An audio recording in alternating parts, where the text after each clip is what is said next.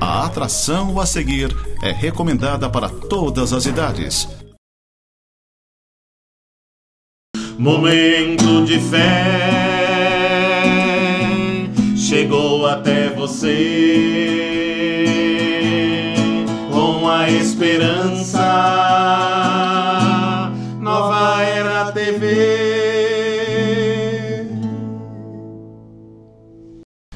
O programa Momento de Fé, que semanalmente chega até você, prezada irmã, prezado irmão, telespectador e este programa, através da, do canal Nova Era TV, quer te ajudar a refletir, a crescer cada vez mais como a humanidade amada e querida por Deus. Há algumas semanas atrás, nós editávamos aqui um programa com a presença da Suave, que está no Brasil, está na sua casa, na sua terra. E, e nós falávamos em que numa outra edição a gente pudesse olhar um pouco e conhecer a casa ecumênica que está em Lages. E para quem não conhece, eu acho que é importante a gente olhar com carinho esse programa desde onde ela está, né, Suave? O Gralha Azul, né? De onde nasceu o Gralha Azul, né? É. Acho que a gente precisa contar e recontar essa história porque hoje muita gente não sabe, né? vê já ruas calçadas, vê um bairro hoje totalmente pronto, né? Mas quem viu aquilo, como começou, o porquê começou, né? acho que traz esse, essa novidade, esse berço que de onde brotou de onde está inserida a casa ecumênica. Então, bem-vinda, Suave, ao nosso programa. E hoje a gente vai olhar com carinho nesse tempo pascal, não é? para todas as atividades ecumênicas que também acontecem lá. Bom, que bom ver é, cada uma e cada um. É, a gente está atrás de uma, de uma câmara, mas o coração da gente é errante e tenta abraçar de novo todo este território amado é, da terra, da serra, da terra de Lages este bioma que nos dá vida. Então, quando eu vim como missionária leiga, há muitos anos atrás, eu cheguei por Lages, que tinha pouco mais de 20 anos, eu acabo de, de fazer 60 anos, então foram os meus anos da juventude. Na, na terra italiana que me viu nascer e durante os estudos de teologia, é, para mim sempre foi importante abrir a Bíblia. E o cardeal Martini, que era o cardeal bispo de Milão, que é a minha cidade, é, sempre nos chamava a atenção da importância do lugar teológico e sociológico de Jesus e do seu movimento. E este lugar tem um lugar muito especial, que é a Galileia, e na terra do sul da Judéia, é, Jesus sempre passava por um lugar onde descansava e reanimava sua vocação e sua prática é, de evangelização, de, de acompanhamento das comunidades, de amor. Este lugar é Betânia. Betânia é a casa das pessoas empobrecidas, a casa das pessoas frágeis, daqueles pobres que o hebraico diz precisavam colocar um, pedra no bolso para não ser carregados pelo vento. Então podemos imaginar o corpo destas pessoas frágeis que corriam o risco de ser carregadas pelo vento e não pelo vento de furacão que acontece nesses dias, pelo vento qualquer. Pessoas muito frágeis. Esta era Betânia, onde Jesus refazia a sua vida descansava. Digo isso porque eu também precisei encontrar Betânia. E esta Betânia na minha vida foi a Diocese de Lages, 40 anos atrás quase, e foi o bairro Ipiranga. É, era considerado um bairro muito é, periférico, muito insignificante, tinha a grutinha do São Bom Jesus, de gente cabocla neste bairro eu encontrei a carne de Jesus, o Cristo. Encontrei uma comunidade que me demonstrou o seguimento de Jesus, o Cristo. E neste bairro, com o Fabiano, também moramos um ano juntos, né, na caminhada de discernimento vocacional. E teve uma grande enchente neste bairro. Muitas pessoas perderam as casas, também porque eram casas muito precárias, ah, o esgoto era muito precário naquele tempo. Então, todas estas pessoas, num processo também de luta e de compromisso, muitas dessas pessoas foram recolocadas num outro bairro que iria surgir. Mas era um bairro que não era um bairro, não tinha ruas, não tinha casas, tinha uma pinguela, não era nem ponte, que juntava com Petrópolis. Então, o povo de Deus, o povo da Serra, o povo do Ipiranga e do, e do Gralha, sobretudo, tinha que atravessar um descampado cheio de lama para poder ir trabalhar. Não tinha ônibus, nada, não tinha água, não tinha corrente elétrica. Então foram lutas e lutas e lutas e também aquele jeito de juntar todo o povo empobrecido em todos os sentidos, então pessoas com problemas eh, psiquiátricos, de alcoolismo, de pobreza. Quando você junta todas as pessoas da Galileia, porque Galileia em hebraico significa isso, todas as pessoas excluídas, eh, acabam aumentando também os problemas. Então, o gralha azul, com este nome de quem na natureza planta insistentemente as araucárias, também quando chegaram os lenhadores para refazer, para fazer as grandes capitais deste país e cortaram as araucárias, a gralha continuou, continuou é, neste trabalho insistente da natureza de preservar. Então, neste bairro, começou uma comunidade deste jeito, bem frágil. Bem frágil, e nós tentamos acompanhar é, na humildade esta comunidade.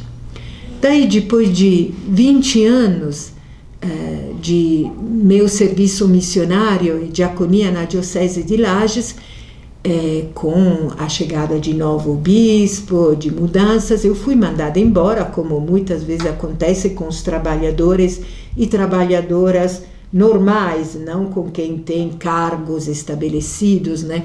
Missionário é gente que é trabalhador e trabalhadora com salário mínimo é, normalmente, né? Então eu fui mandada embora e depois de 20 anos de trabalho eu recebi o fundo de garantia. Então pensei, eu sempre doei a minha vida Trabalhei, independentemente dos títulos acadêmicos, por salário mínimo e sempre partilhei o que eu tinha, o pouco que eu tinha, o tempo, o carinho, o amor, o saber, o sabor da vida.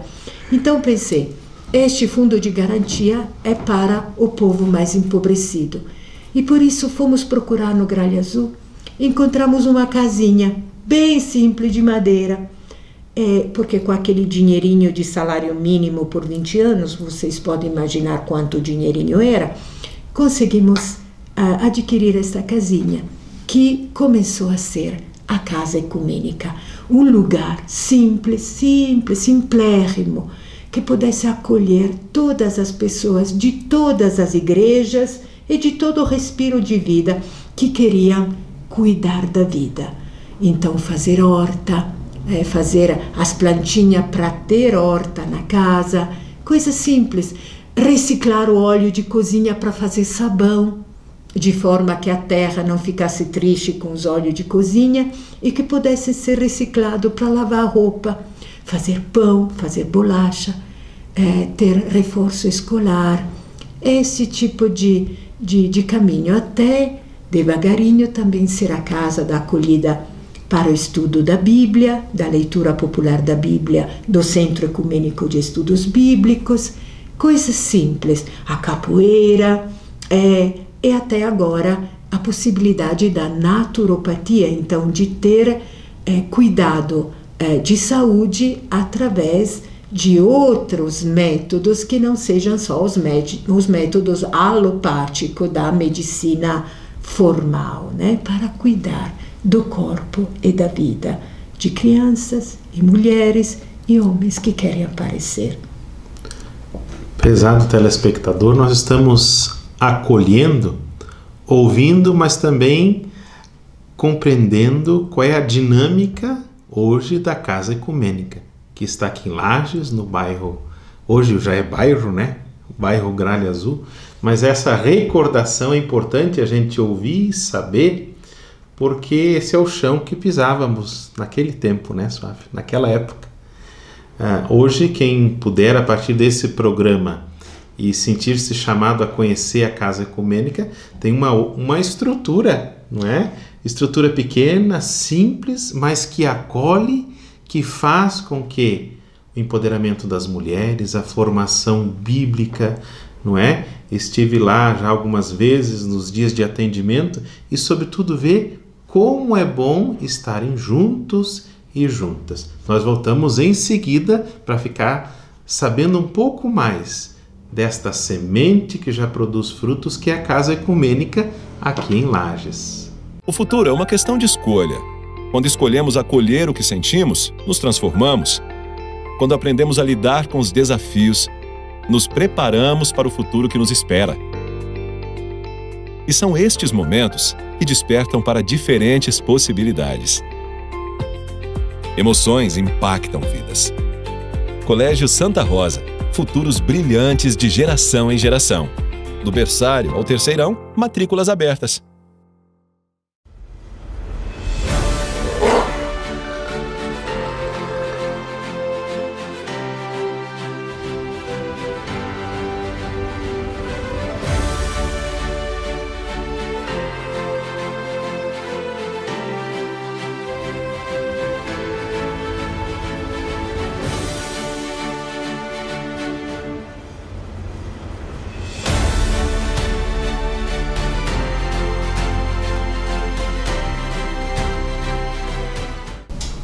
Irmão, minha irmã, o programa Momento de Fé de hoje, desta semana, está trazendo a, a história de como nasceu, podemos assim dizer, né? O loteamento que era primeiro, depois o bairro Gralha Azul, mas sobretudo das famílias né, que tiveram que migrar né, para aquele pedaço de chão.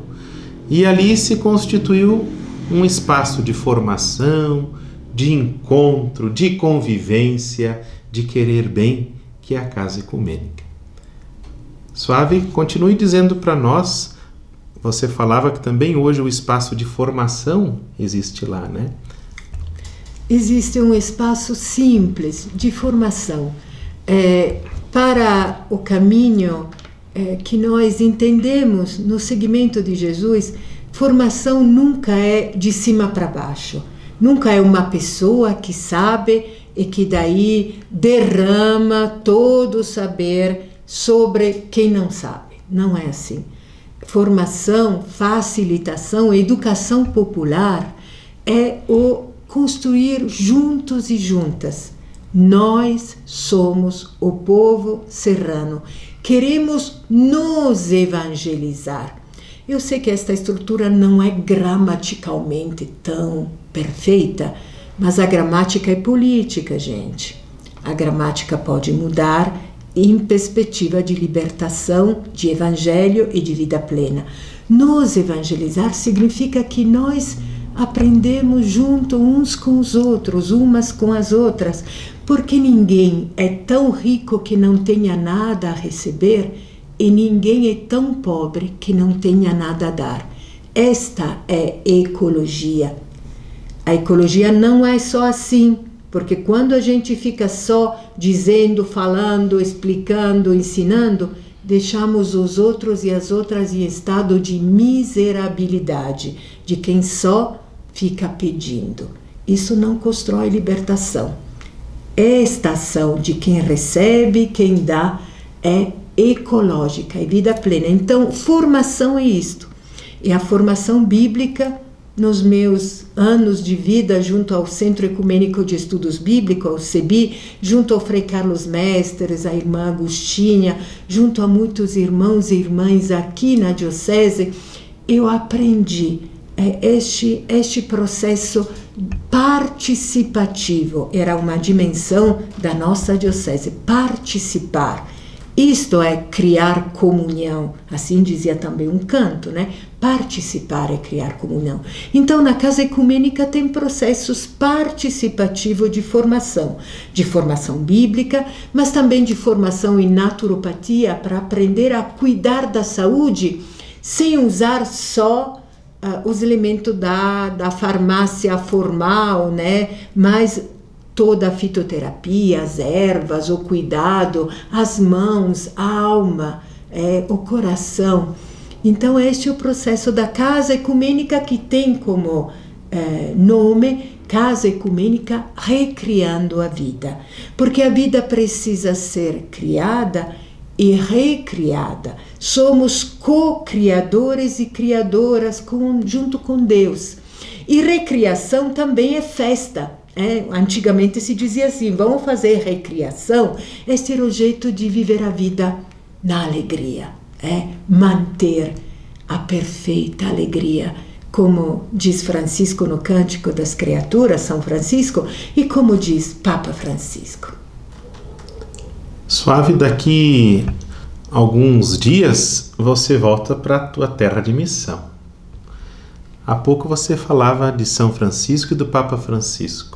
Como é que a gente cada vez mais reassume esse desejo de ser uma igreja em saída a partir de um espaço comum, né, de uma casa ecumênica ou de um espaço que acolhe a todos e a todas? Você parte em missão de novo, né? Nos ajude a refletir isso no teu coração. Sim, eu vou segunda-feira. É, a primeira missão vai ser a casa da minha mãe, porque missão tem a ver também com o cuidado dos nossos frágeis. Né? Minha mãe tem, vai para 93 anos e não caminha mais. Né? Nós estivemos cinco meses no hospital junto com ela agora. É, então, o cuidado mínimo é da presença com a mãe. E logo depois eu vou, com a mãe ficando meio sempre um pouco tristonha, né? Eu vou é, para a missão no serviço da formação da Igreja Luterana da Suécia, no extremo norte do mundo, aonde é sempre gelo, é sempre frio. E quando digo frio, estou falando de 40 graus abaixo de zero. Estou falando disso, deste frio. Eu vou para lá porque faz 10 anos que acompanho, em nome do Centro Ecumênico de Estudos Bíblicos, a formação em leitura popular de muitas comunidades luteranas desta igreja. Mas tem uma coisa bonita, porque nestes anos todos, na nossa insistência, uma família, agora é família porque são casados e têm dois filhos, mas que ficaram aqui conosco em Lages por um tempo. Laura ficou um ano aqui conosco, aprendendo o jeito de ler a vida e a Bíblia. Esta família é uma família católica, missionária, numa experiência missionária ecumênica junto com a Igreja Luterana e estão servindo o caminho ecumênico agora já há quatro anos nestas regiões da Suécia, junto com os dois filhinhos, com Miriam e Jacopo. Os dois filhos deles estão vivendo como família missionária numa experiência profundamente ecumênica, católicos juntos à Igreja Luterana da Suécia. E Mário trabalha na diaconia, é, então no espaço da Igreja Luterana que eh, tem como preocupação o serviço aos mais pobres, e isto é, diaconia na, na igreja luterana. Então, com as pessoas em situação de alcoolismo, de rua, eh, e está nesse serviço junto à igreja luterana. Nós queremos dizer a você, Suave, e além dessas imagens e desse programa que ficam gravados, não é? Para muitas pessoas, para muitas comunidades, você esteve no meio de nós sendo o sopro. O sopro que Ruá nos ajuda a construir e a continuar a perseguir os passos do Cristo, o ressuscitado. Obrigado pela tua presença pela tua participação, não só no programa, mas na vida de cada um, de cada uma de nós que tem esse compromisso, também missionário, de continuar aqui essa missão. Obrigada pela presença de cada uma e cada um na minha vida e continuamos nesse caminho de ser uma igreja em saída. E saída para visitar as pessoas vizinhas de casa, para fazer grupo de família, se reunir, perguntar de verdade como tu estás, não só no WhatsApp, tvb, é, te quero bem, não, é abraçando, passando tempo, perdendo tempo para se cuidar, curtir, amar. É, é necessário, isso é comunidade, povo. Continuamos amando. Mesmo as trevas não são trevas para mim, a noite é luminosa como Mesmo as trevas não são trevas para mim. A noite é luminosa como o dia. Mesmo as trevas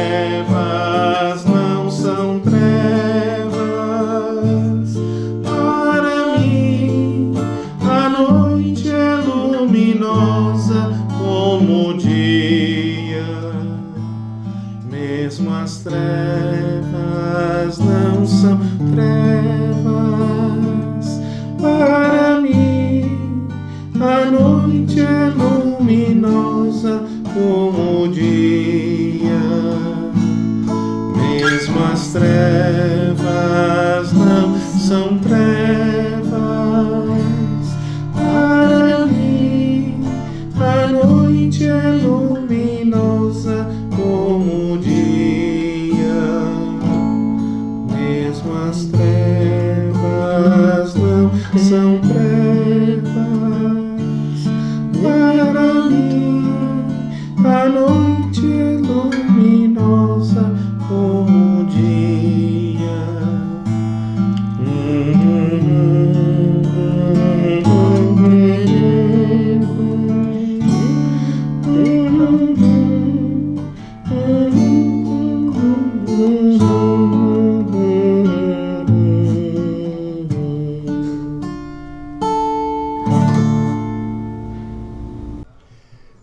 Estamos aqui para mais uma Tarde da Família, 17 Tarde da Família do Colégio Santa Rosa. Estamos hoje recebendo com muito carinho, com aquele acolhimento, com aquela saudação calorosa, cada pai, cada mãe, cada aluno, colaborador, neste evento que é tradicional da nossa instituição. Estou aqui num espaço especial que preparamos e vamos entregar hoje aos nossos queridos pais. É a nossa sala VIP de acolhimento, juntamente com o oratório que segue aqui na sequência. Um espaço para dizer aos pais o quanto eles são importantes para nós. Tarde da Família, uma programação intensa, muitas atrações, um momento de integração, confraternização e alegria. Esse é o Santa Rosa, proporcionando aos pais, aos alunos e colaboradores mais uma tarde especial de muita alegria, diversão, conversas e muita programação legal.